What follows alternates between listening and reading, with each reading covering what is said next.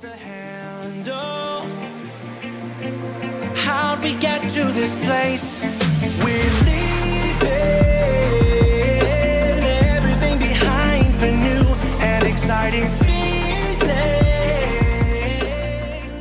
painting Yes. is called Judgment at Last.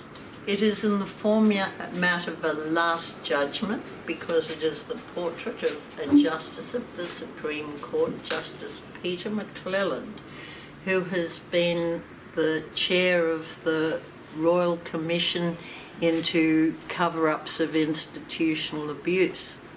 It's just been wound up after five years, and uh, he's gone on holiday for a while. My painting is being painted uh, to hopefully uh, make sure that the things that have been achieved with this Royal Commission will never be forgotten, and, and those enormous crimes against children will no longer be able to be committed in the darkness. The light has been shown, shone on all the doings of the evil pedophiles who appear in the bottom part of the painting. Uh, they, they are burning in hell. In the middle is the Royal Commission happening, and at the top part of the painting is my bright seraphim and hero, Justice Peter McClellan. And, um, and will also be the background for what went on in the Royal Commission for all those five years. Uh, so anyway, I, I, I, at least this painting will finish like the Sydney Symphony Orchestra Which is fantastic. It was the last painting I did and took three and a half months. I've been sp- I've spent three and a half months on the one you see here, Cool.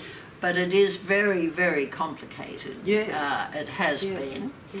Most, almost everybody has found their positions in this painting, but there's layers still to go before it is finished.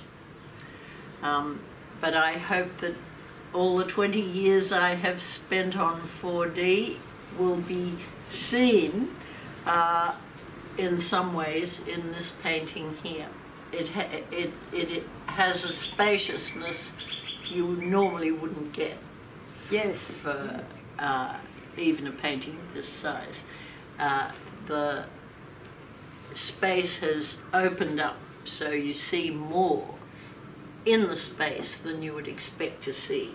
The light is That's my life's masterpiece so far. So these are all the. Um, can you name these pedophiles? Yes, uh, I've got their, I never remember them, I've got their names on their, on the back of their, Oh, I see. Yes. this is uh, Adrian Nesbitt, he's this one. There he is again.